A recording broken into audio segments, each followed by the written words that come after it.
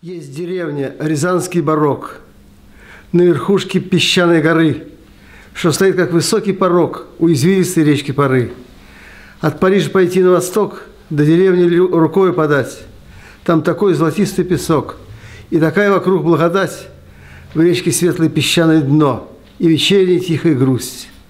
О прошедшем судить мудрено, что случится, гадать не берусь.